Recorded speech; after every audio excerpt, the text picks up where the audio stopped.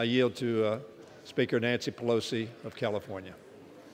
The Speaker of the House is recognized. Thank you very much, Mr. Speaker.